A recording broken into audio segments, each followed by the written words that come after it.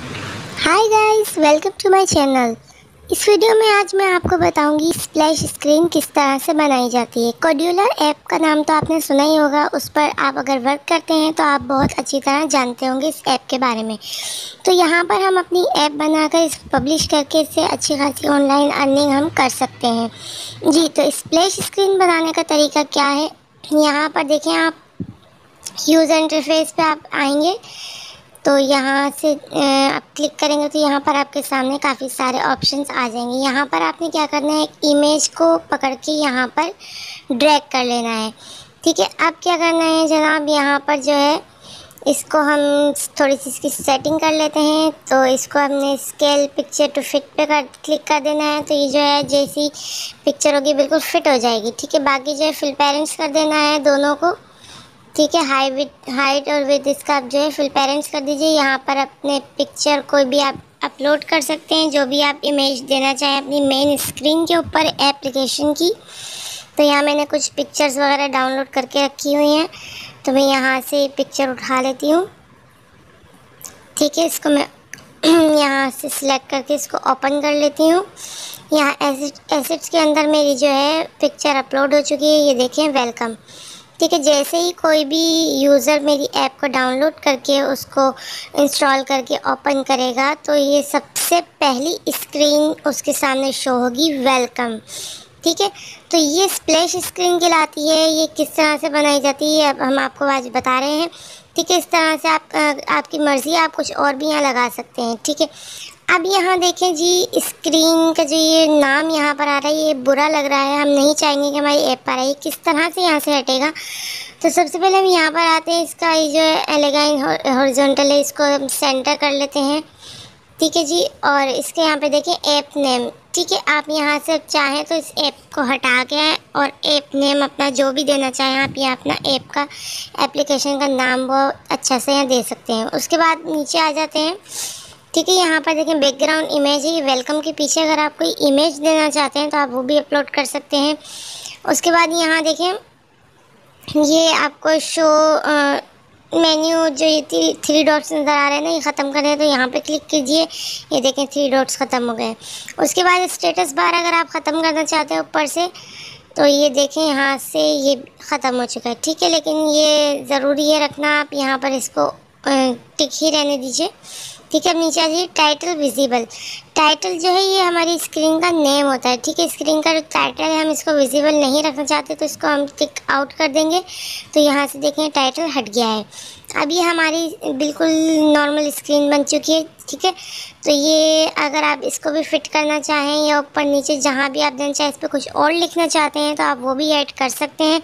फ़िलहाल मैंने आपको सिर्फ़ एक सिंपल सी मेन स्क्रीन बनाना बताई कि जैसे यूज़र आपका, आपकी एप्लीकेशन डाउनलोड करता है तो किस तरह से शो हो, ठीक है? अब यहाँ पर देखें सेंटर, इधर आपका साइड में एक सेंसर का ऑप्शन है, उस पर क्लोक ला के आपने यहाँ पर अपनी स्क्रीन पर ड्रैग कर लेनी है।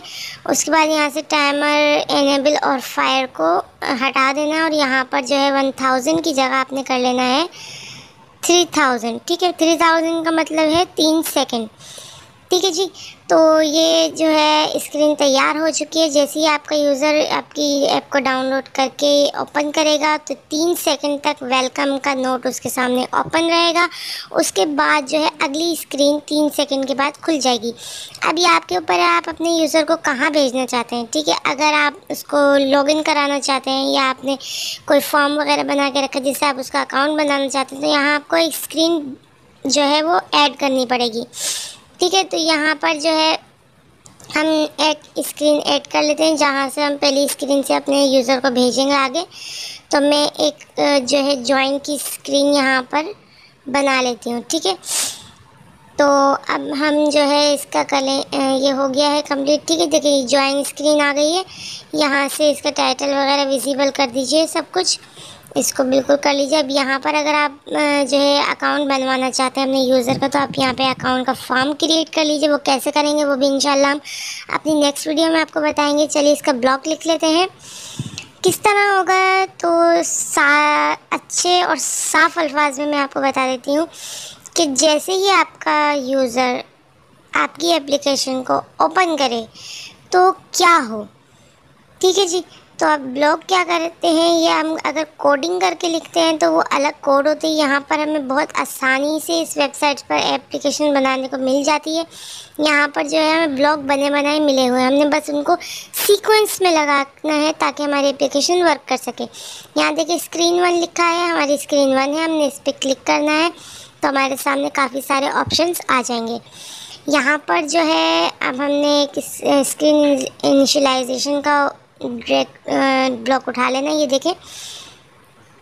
जब स्क्रीन हमारी खुले, यानी कि इनिशलाइज या खुले, हमारी स्क्रीन जैसे ही ओपन हो, खुले तो क्या होना चाहिए?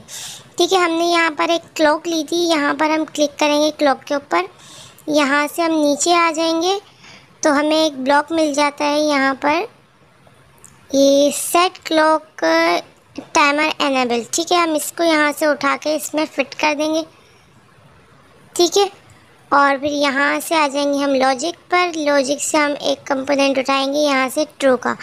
अब यहाँ पर लाके हमने इसको ट्रू लगा दिया, यानी कि जैसे ही हमारी स्क्रीन खुलेगी तो एप्लीकेशन ओपन होगी तो टाइमर जो स्टार्ट हो जाएगा, जो हमने डिज़ाइन इधर थ्री सेकंड का टाइमर लगाया है तो वो जो है शुरू हो जाएगा। ठीक है, उसके बाद क्या होना चाहिए? जैसे टाइमर शुरू हो जाए स्क्रीन खुलेगी तो टाइमर शुरू हो जाएगा और फिर हम दोबारा क्लॉक पर जाएँगे और यहाँ से ये वाला कंपोनेंट आएँगे वैन क्लॉक टाइमर जो है, पूरा हो जाए। यानी कि जैसे ही टाइमर बंद हो जाए, पूरा हो जाए तो क्या हो, अब हमने सेट टाइमर एनेबल को यहाँ पर दोबारा से सेट कर लेना है डुप्लीकेट करके। और यहाँ से जो ट्रू किया था, उसको फॉल्स कर देना है। यानी कि जैसे ही टाइमर स्क्रीन खुलेगी तो टाइमर चल जाए। और जैसे ही टाइमर ख़त्म हो तो क्या हो? एक दूसरी स्क्रीन पर हमारा यूज़र चला जाए। ठीक है, यहाँ से ओपन एंड अदर स्क्रीन का ब्लॉक हम उठाएँगे कंट्रोल में जाके। यहाँ से इसको उठा के इसके नीचे हम ड्रैग कर लेंगे। और यहाँ से फिर हम जाएँगे टेक्स्ट के ऊपर। टेक्स्ट में जाके एक इम्पिटी बॉक्स हमने ले लेना है। ठीक है, यहाँ से हमने ये ले लिया। अब इसको हमें कहाँ भेजना है वो यहाँ पर हमने एक लगाना तो हमें खाली कंपोनेंट चाहिए होगा जो यहाँ से टेक्स्ट हमें मिलेगा। यहाँ से हमने इसको उठा लिया, अब यहाँ पर हमने इसको ड्रैग कर दिया। अब यहाँ पर आपने वो नाम देना है जो आप चाहते हैं कि हमारा यूज़र मेन स्क्रीन के बाद सीधा यहाँ पर पहुँचे। अब मैं चाहती हूँ कि मेरा जो यूज़र है वो एप्लीकेशन ओपन करने के बाद जब उसे वेलकम कर दिया जाए तो वो डायरेक्टली कॉन्टैक्ट फॉर्म के पर या साइन अप फॉर्म पे या लॉग इन स्क्रीन पर चला जाए। उसके सामने एक फॉर्म शो हो जिससे वो अपना अकाउंट बना सके या अगर उसका अकाउंट बना हुआ है तो वो लॉग इन कर सके। ठीक है तो मैंने स्क्रीन बनाई थी जिसमें आपको एक डेमो दिखा रही हूँ। तो यहाँ मैंने ज्वाइन स्क्रीन लिख दिया ज्वाइन लिख दिया, ठीक है? स्क्रीन का नाम सेम लिखना है सेम कैपिटल वर्ड अगर आप दे रहे हैं स्मॉल लेटर दे रहे हैं तो सेम वर्डिंग में लेटर्स में आपने यहाँ पर देना है अदरवाइज़ ये वर्क नहीं करेगा। ठीक है जी? ये सिंपल सा ब्लॉक था स्प्लैश स्क्रीन का, जो बहुत ही आसान है। उम्मीद करती हूँ आपको समझ आया होगा, इसका डेमो हम नेक्स्ट जो वीडियो होगी हमारी उसमें हम जब आपको अकाउंट क्रिएट करना सिखाएँगे तो उसके साथ हम इसको आपको बताएँगे कि किस तरह ये वर्क करेगा और फायरबेस से इसको कनेक्ट करना बताएँगे। ठीक है जी? तो ये देखिए, बहुत आसान था। उम्मीद करती हूँ वीडियो हमारी आपको समझ आई होगी, अच्छी लगी होगी। तो लाइक और शेयर ज़रूर कीजिएगा। चैनल सब्सक्राइब नहीं किया तो प्लीज़ लाजमी से सब्सक्राइब कर लीजिएगा, ताकि और बेल आइकन जो है प्रेस करना ना भूलिएगा, ताकि आने वाली हर नई वीडियो की नोटिफिकेशन आपको मिलती रहे।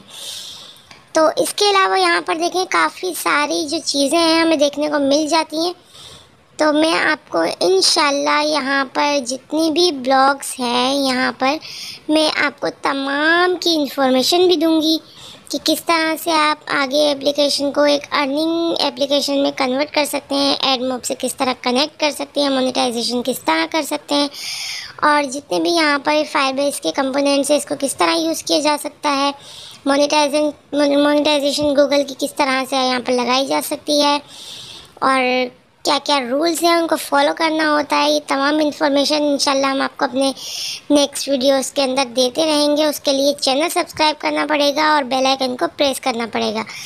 ठीक है जी तो मुझे इजाज़त दीजिए, मिलती हूँ नेक्स्ट वीडियो के अंदर। तब तक के लिए अपना बहुत सारा ख्याल रखिएगा, दुआ में याद रखिएगा। Good bye